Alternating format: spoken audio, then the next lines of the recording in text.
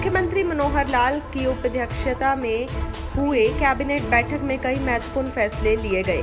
हरियाणा मंत्री परिषद द्वारा हरियाणा मॉल और सेवा कर अधिनियम 2017 के तहत जारी की जाने वाली अधिसूचनाओं और नियमों का तथा इससे संबंधित मामलों को अनुमोदन के संबंध में अपनी शक्तियाँ मुख्यमंत्री को सौंपने का निर्णय लिया है।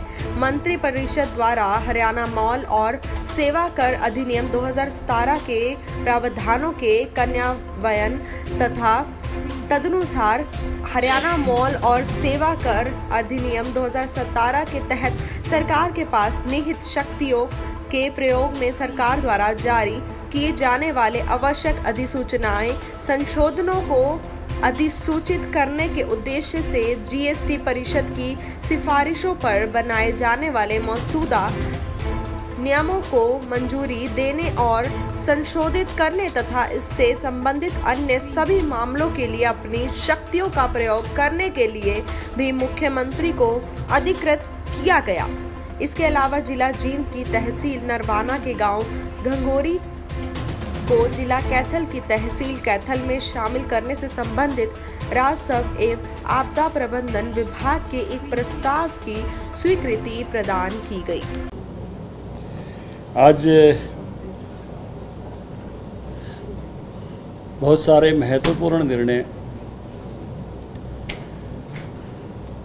कैबिनेट ने लिए हैं। उनकी महत्ता के हिसाब से ही कुछ निर्णयों की चर्चा मैं आपसे कर रहा हूँ। पहला निर्णय खिलाड़ियों को लेकर है।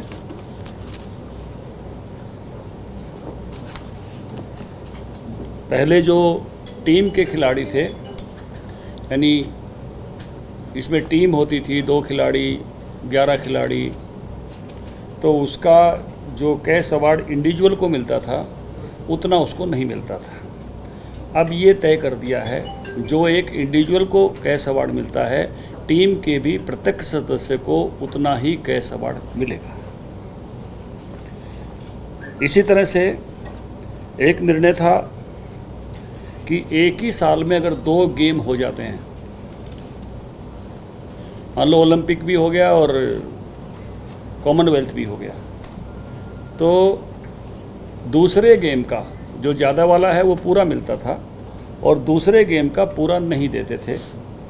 अब ये तय कर दिया कि एक ही साल में अगर दो गेम होते हैं तो भी पूरा पूरा अवार्ड दिया जाएगा। एक ही साल में होने से जो पहले निर्णय कम करने का था वो निर्णय अब नहीं है। उसको पूरा पूरा जो पुरस्कार उसका बनता है, जिस भी मेडल को खिलाड़ी लेके आता है, वो पूरा पुरस्कार मिलेगा। तीसरा, जूनियर और सब जूनियर।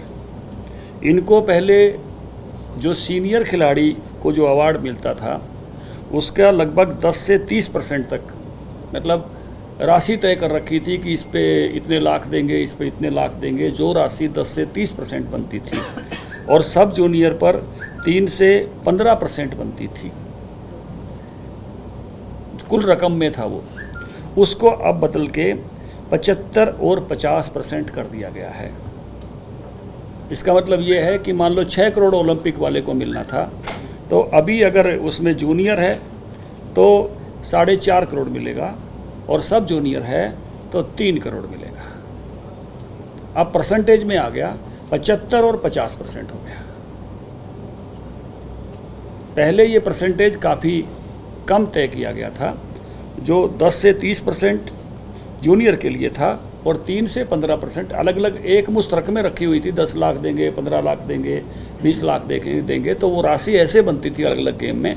लेकिन अब ये तय कर दिया गया है कि पचहत्तर परसेंट और पचास परसेंट जूनियर को पचहत्तर और सब जूनियर को पचास परसेंट मिलेगा। पचहत्तर परसेंट जूनियर को और पचास परसेंट सब जूनियर को। तीसरा ये है कि जिन गेम्स में सब जूनियर नहीं होते, यूथ और कैडेट होते हैं तो उनको भी उसी प्रकार से मान कर जूनियर और सब जूनियर मानकर अवार्ड दिए जाएँगे। लेकिन उन्हीं में जिसमें जूनियर और सब जूनियर नहीं होते। पहले यह तय किया था कि जो खिलाड़ी हरियाणा की तरफ़ से खेलेगा, उसी को पुरस्कृत करेंगे। लेकिन अब ये तय किया है कि हरियाणा का कोई भी खिलाड़ी, चाहे रेलवे से खेल रहा हो, चाहे सेना से खेल रहा हो मतलब हमारी तरफ़ से नहीं खेला हो, हरियाणा का है तो उसको भी पुरस्कार देंगे। प्राइवेट सिक्योरिटी एजेंसीज खास करके जो कैश लाती ले जाती हैं उनके लिए भी कुछ नियम जो है, वो बनाए गए हैं। उनको भी आज जो है जो है, वो कैबिनेट ने स्वीकार किया है कि किस तरह से सुरक्षा रखी जाए। उसके कुछ ऐसे मानदंड तय किए गए हैं। ये आज का एक मुख्य एजेंडे में था। एक झज्जर में और फरीदाबाद में।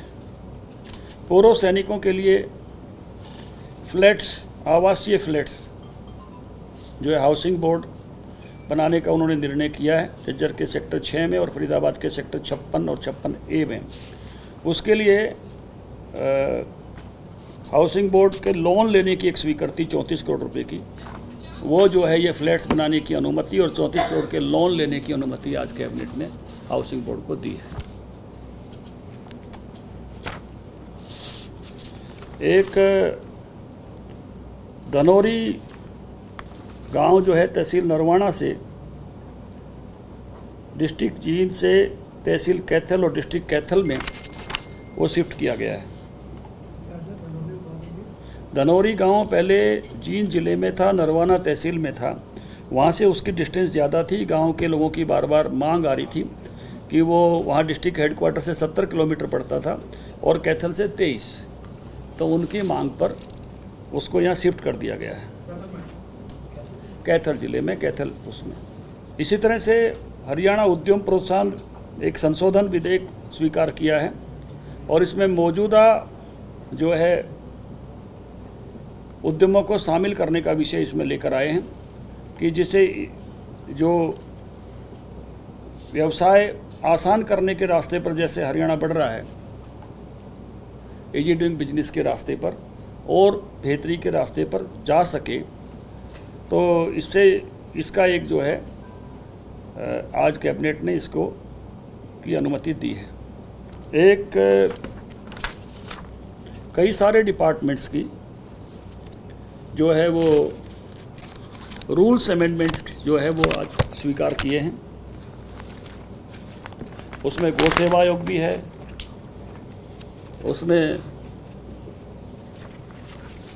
टेक्निकल एजुकेशन डिपार्टमेंट भी है group B officers information and technology electronics and communication group B इसके सर्विस रूल्स भी हैं। ग्रुप ए के भी हैं, इसी के information technology electronics and communication group A के रूल्स भी हैं। टेक्निकल एजुकेशन डिपार्टमेंट के जैसे मैंने पहले बी के कहा तो ए ग्रुप ए के भी हैं इसमें जो आज स्वीकार किए हैं। आर्किटेक्चर टेक्निकल ग्रुप सी के भी हैं जिनमें सुधार किया गया है। गौ सेवा आयोग के भी हैं। ऐसे बाकी कुछ डिपार्टमेंटल रिपोर्ट्स हैं और कुछ कर्मचारियों की जो एक, एक तो जो है जॉब्स जो सर्विस एक्सटेंशन रहती है वो हैं। हमारे सफ़ाई कर्मचारी जो अभी तक प्राइवेट एजेंसीज के कर्मचारी थे शहरों में, नगरीय व्यवस्थाओं में, वो अब नगर पालिका नगर परिषद के पेरोल पर होंगे। इसमें सीवरमैन भी हैं, इसमें सफ़ाई कर्मचारी भी हैं, और इसमें फायर मैन और फायर ड्राइवर भी हैं। सात हज़ार एक सौ तीन कर्मचारियों को इस प्रकार से अब प्राइवेट कंपनी से ठेकेदार से अब वो नगर पालिका नगर निगम नगर परिषद के पेरोल पर आ जाएँगे। परिषद अर्बन में जो भी हैं वो सात हज़ार एक सौ तीन इनकी संख्या है। तो एक बड़ा डिसीज़न जो है आज कैबिनेट ने ये लिया है। एक नारायणगढ़ मिल का एक पेमेंट का इशू अटका हुआ था और किसानों को गन्ने की जो है वो भुगतान नहीं हो रहा था तो वो भी किसानों को गन्ने का भुगतान करने के लिए 60 करोड़ रुपए का आज कैबिनेट ने प्रोविज़न किया है जो किसानों का भुगतान पूरा नारायणगढ़ मिल का हो जाए। तो एक बड़ा निर्णय है। एक है मिल्क सेस, वो जितने भी डेयरी प्लांट हैं, उन पर लगा रहे थे, और उसमें चक्रवर्ती ब्याज लगता था। उसमें अब एक मुश्त छूट दी गई है कि साधारण ब्याज लेंगे, और जो 50 परसेंट राशि जमा करा देगा, अपने मूल की और साधारण ब्याज की, उसको ये छूट दे देंगे। और बाकी छः महीने में 50 परसेंट। जो पुराना एक अंबार लग गया था, बार बार बार बार लगभग 1300 करोड़ पे पहुँच गया था, उसको जो है ठीक करने के लिए ये किया गया है और अब ये राशि जो है ये 12 परसेंट इंटरेस्ट रेट कर दिया गया है इसमें। और जो है 50 परसेंट जो जमा करा देगा, उसको जो है ये इस योजना का लाभ मिल जाएगा। और छः महीने में बाकी का 50 परसेंट इस कमिटमेंट के साथ। तो जो